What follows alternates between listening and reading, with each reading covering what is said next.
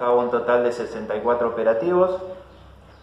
Nos permitió identificar 465 personas, un total de 434 vehículos. Eh, en el día de ayer domingo observamos gratamente que la circulación vehicular había mermado bastante en consideración a, los últimos fines de semana, así que este, eh, no tuvimos no tuvimos mayor incidentes en ese, en ese tema.